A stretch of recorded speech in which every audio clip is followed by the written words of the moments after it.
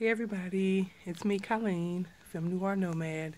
This time I decided to camp in a little fort here. Um, the last one I passed up, but I kind of regret at least not trying to stay in camp there. Kind of got my stuff all spread out a little bit. There's my tent. So that's the whole the whole thing where I'm staying today. This one didn't have a fireplace like the other one, so I got my food over there cooking in the corners. Tuna helper tonight. um, had a little bit of mishap today. The cart kind of fell apart. The whole front tire came off. Um, so it looked like it needs to like be welded into place or um, duct tape or something. Uh, right now I have some wood, some pieces of wood I found to brace it and um, I duct taped it.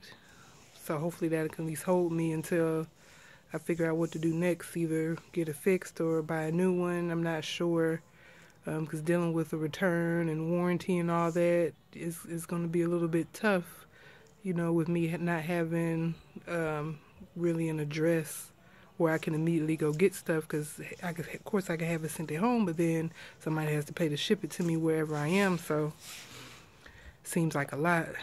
And it's my understanding I'm still a few days away from my local bike shop.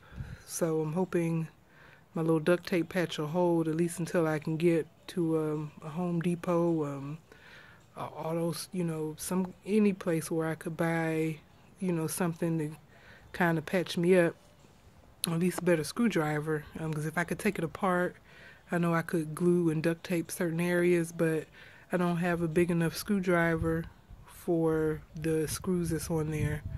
I don't have any screwdriver so I had to borrow one but it was small in comparison to the screws that's on the cart so not sure what I'm gonna do about that yet. I know I could walk with it with two wheels but you know that's going to make things take longer it's going to be harder but i mean i don't have a lot of choice right now. So i guess tomorrow i'll either be pushing on two wheels or pulling it from the bike attachment bar in the front. Or you know maybe i'll come across some other people who have some good ideas about how i can fix it you know with duct tape and wood and you know whatever i can find.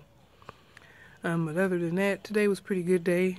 My energy uh, was a lot better today I had some bulletproof coffee thanks to my resupply. So I'm pretty sure that was a lot of the reason for all my extra energy. But that's all I got for now. Kind of hungry. Talk to you later.